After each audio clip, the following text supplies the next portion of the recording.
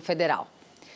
Doutor Gonzalo, como médico, qual a sua maior preocupação com, relação, com relação ao excesso de consumo desses alimentos com agrotóxicos? O quanto eles fazem mal à nossa saúde? Muito mal à nossa saúde. E aí nós temos dois problemas. Um problema é a liberação excessiva de drogas muito tóxicas, onde a Anvisa é um terço da responsabilidade. Então, quando a Anvisa fala que tem coisa tóxica no mercado, ela é um dos pontos pelo qual todos os agrotóxicos têm que passar. Então, a Anvisa era quem segurava essa boiada.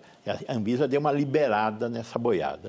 O segundo ponto grave é a importação de produtos que não passam pela Anvisa. Importação ilegal de produtos pelo Paraguai ou da China com contaminantes muito mais graves, porque você não verifica o processo produtivo. A agricultura precisa entender que o que o mundo quer é alimento seguro e alimento cheio de veneno não é alimento seguro. O Brasil não vai conseguir atender os nossos compradores vendendo essa porcaria que nós estamos produzindo. Agora, Pondé, com certeza alguém está aí engordando o bolso com essa liberação exagerada de agrotóxico que nós estamos acompanhando, que é uma liberação muito superior a outros países do mundo. Deve ser daqueles casos famosos que tem uma parceria entre iniciativa privada e figuras dentro do governo. Eu esqueci qual é a palavra disso.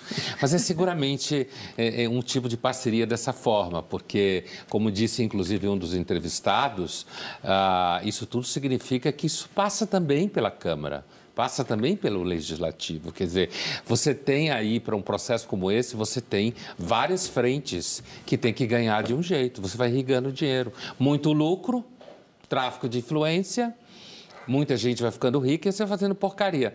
O problema é que, como fala o Gonzalo, é que depois a gente fica vendendo porcaria.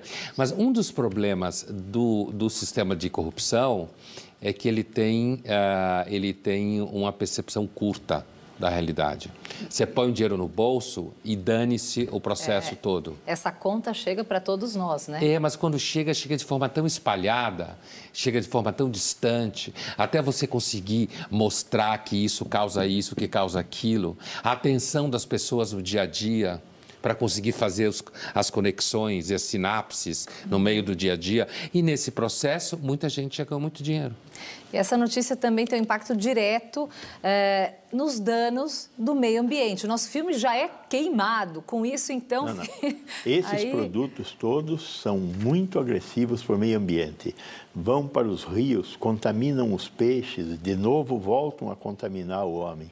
Nós temos muitos problemas graças aos aos agrotóxicos que foram liberados nos últimos anos, permitindo que a toxicidade aumentasse em favor da lucratividade do agronegócio, que tá, a longo prazo está perdendo, porque está, com certeza, muitas devoluções já, for, já ocorreram de alimentos nesses outros países, e volta e meia a gente vê a notícia que um país não vai mais comprar carne brasileira porque está contaminada com não sei Sim. o quê. Isso vai acontecer.